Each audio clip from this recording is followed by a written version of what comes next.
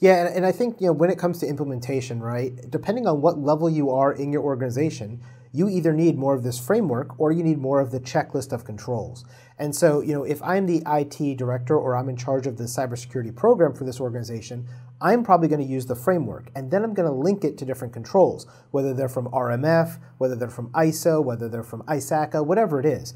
And now I'm going to mm-hmm. take those and say, hey, team, these are the controls and these are the things I need you to do every single day in your job or every single month. And then we're going to assess that as we go through. Now, every year, I'm going to go and look at my framework again and say, what has changed? What hasn't? What do I need to add? What do I need to take away based on the outcomes I'm trying to achieve? But by doing that translation from these more generic outcomes into controls, that does make it easier for more entry level or junior folks on the team to be able to do their job. Because, you know, as Kip said, if I go and say, you know, you must have a secure credit card processing system, that is a very generic statement. There's a million different ways to do that. And that person on the front line, that, that entry level technician, isn't going to know how to do that. So if I then say, that means you must have these five things like TLS 1.3, you must do a quarterly assessment, you must do X, Y, and Z, and I give them that checklist, it's easier for them to validate. So there is a place for both. And using NIST doesn't mean you can't use RMF or ISO 27001 or ISACA. All those things work with it.